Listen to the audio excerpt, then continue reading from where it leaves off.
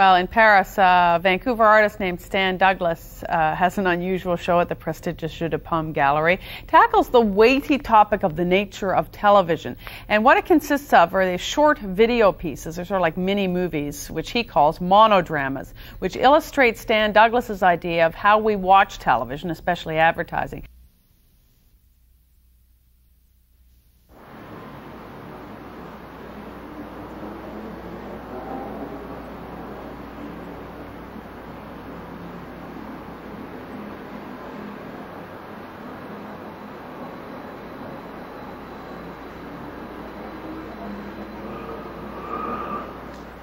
Hi, Gary. How you doing? I'm not Gary. With us now from in front of the Jeu de Paume in Paris is Stan Douglas. How, how are you doing? Uh, very well, thank you. Wonderful to be in Paris. It's great. The weather's great. Few, very few tourists.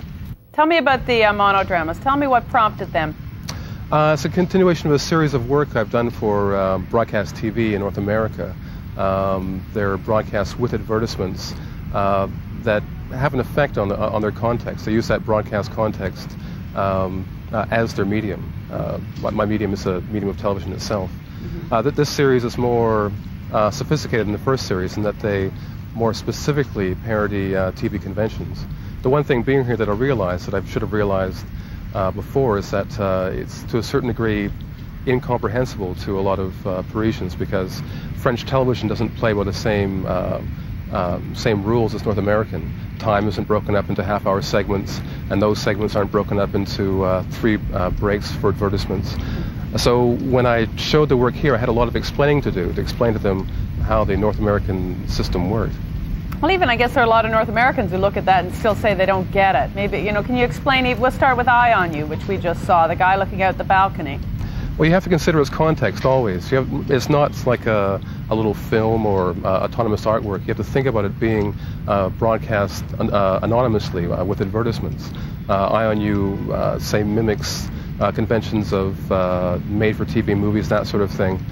and unlike advertisements, it's, it, has a, it has a formal closure like advertisements, but unlike them, Uh, it doesn't try to sell you anything, per, per, uh, persuade you of anything, uh, but tries to uh, uh, say, break the habits uh, that people have formed when watching ad- advertisements. You know how to look at the program section, you know how to blank out or to hopefully deal with the rapid montage that happens in commercial segments, or you, you turn it altogether. pieces like Eye on You would try to frame and draw one's attention to the, the habits that one has developed in, in viewing uh, North American TV and I'm not Gary. I mean, all those are about the same. They all have discrete uh, subject matters. Um, uh, misidentif- uh, misidentification in some, um, certain, um, say, say, values of luxury in others. Uh, but as a general, um, uh, say, project, they're all geared towards that context of TV. I mean, you can look at them for uh, what each presents, but it's more important to consider the effect that those things would have to um, to the viewer who'd be caught unawares. Well, what do you think that effect is? So people who just watch TV and kind of they know the rules and they accept them, and usually you know what you're going to see and what, what to expect. Yeah, it, it happens to, to, me as well. I mean, I, I watch TV and. Uh, uh, I, I, forget what I'm, I, I, forget what I'm doing, um, and these just call attention to that situation. Often they're uh, people in situations of isolation, and watching TV is very often a sort of uh, um, solitary practice, and it's just like a, a way to think through that. When people see, because you juxtapose your films against things that people really see, I mean, do you have people say, wow, I never thought of it that way, I never saw that, or people mostly just confused with what you're trying to do? Um, I, I, think after repetitions, they're all repeated like ads, like um, in a particular day, you see it again and again. Um, these all deal with sort of um, out of the way moments, like uh, uh, those moments of everyday life that uh, are forgotten or discarded.